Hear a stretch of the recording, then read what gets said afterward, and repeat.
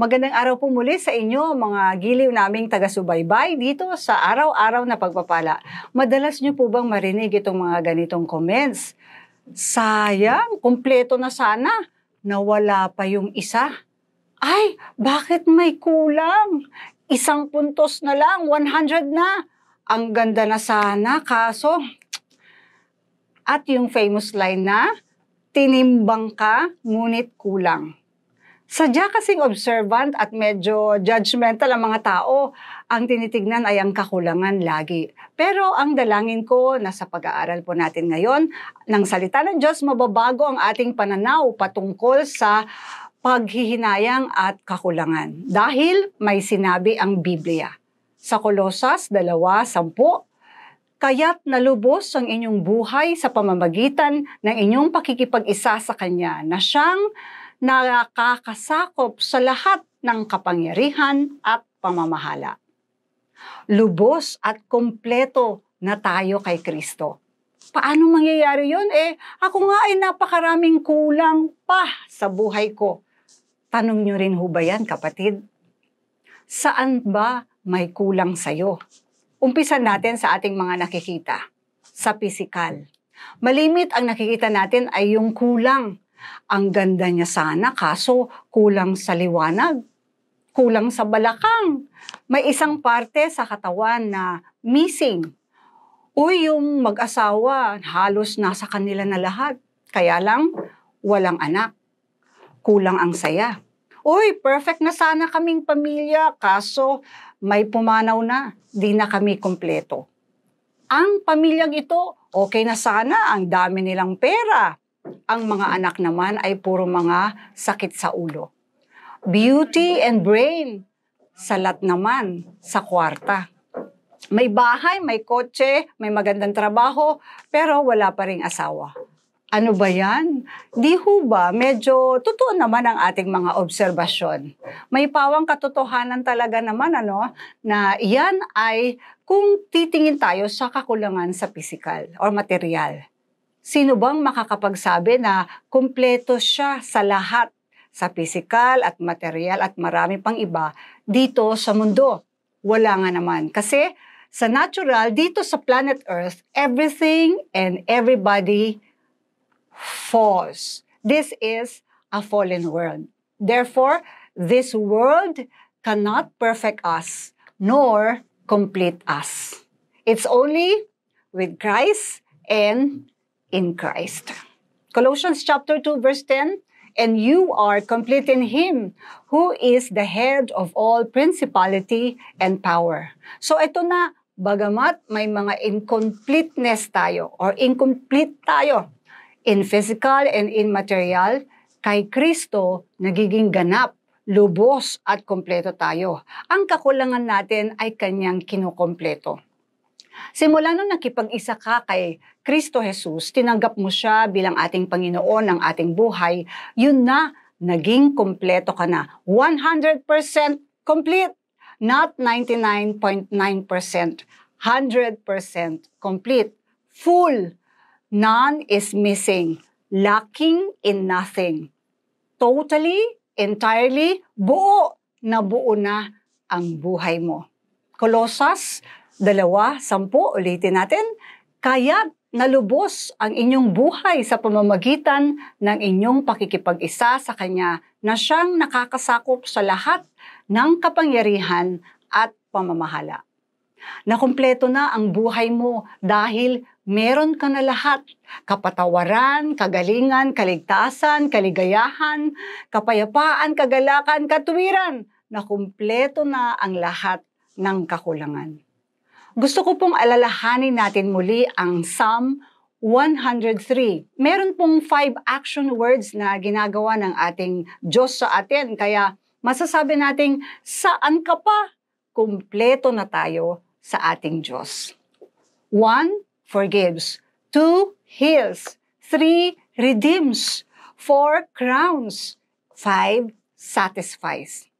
He forgives, He heals, He redeems, He crowns, He satisfies. Paki-review niyo po ang uh, Psalm 103. Siguro po para lalo niyong maintindihan ay magti-testify ako ng konti. Hindi po kompleto ang aking pamilya. Dalawa lang kami nawalan ako ng better half, kinuha na ni Lord. Pero sa kakulangan, marunong si Lord mag-comfort at mag-satisfy. After that terrible loss, pinatira kami ni Lord na, na mag-ina sa isang famous condo dito sa Cubao. Isang panandali ang pagwalay sa aming sariling tahanan. After that, nag-provide si Lord ng paraan para makapunta ako sa gusto kong puntahan sa Marawi City. Halos katatapos ng Marawi Siege noon at uh, sa pagpunta ko doon, more opportunities came. Nag-dream ako na makabili ng uh, property sa Mindanao. Sabi ko, Lord, 50,000 na lang pera ko. Pag may nagbenta sa akin ng lupa na worth 50k, yun na. At maniwala kayo sa hindi, eksaktong 50K ang halaga ng maliit na lote o lupa sa Mindanao ang ibinenta. At nang pauwi na ako, na-delay ng konti ang flight, aba yung manager ng isang airline sa Cagayan de Oro ay nataranta. Kami ay binigyan ng free meal, 1K at may 5 free round trip tickets sa Pilipinas. Kaya halos nalibot ko na ang Pilipinas. Di lang yan. After that, may nanlibre sa aming mag-ina na pumunta sa Japan. Kaya before pandemic, nabusog ako sa Kata Travel. At ito pa, and the list goes on. Baka kung sabihin ko lahat ay mag-wish na rin kayo na mawalan para magkaroon kayo ng comfort at blessings. Joke lang po. May kulang nga, pero marunong si Lord mag-comfort at mag-satisfy at magkumpleto.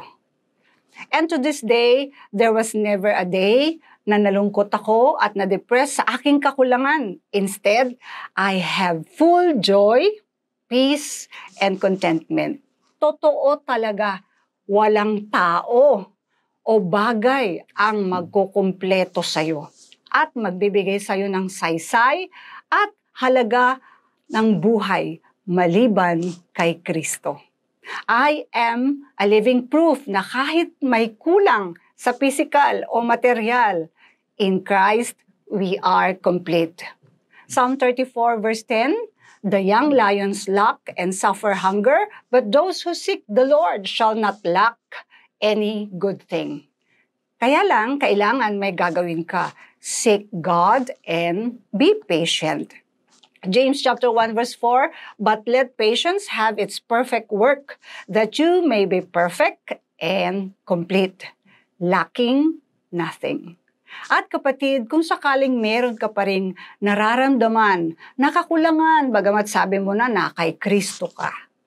Wala ka pang asawa, wala ka pang bahay, wala pang sasakyan, lote, wala pang kasiyahan, kulang sa kapayapaan, sa pag-ibig, sa kagandahan kulang pa ang miyembro ng pamilya mo na nakatanggap ng kaligtasan. Ikaw pa lang sa pamilya mo ang nakipag-isa kay Kristo.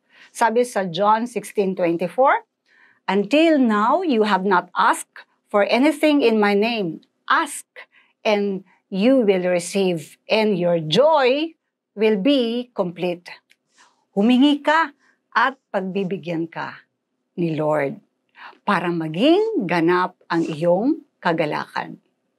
Tayo po ay manalangin. Panginoon, kami ay uh, sapat na sa iyo. Wala na kaming hahanapin pa.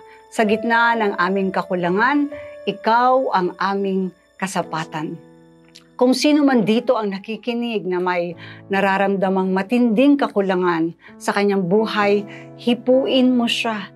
Forgive, heal, redeem, crown, and satisfy them, O Lord. In the name of Jesus. In Jesus' name.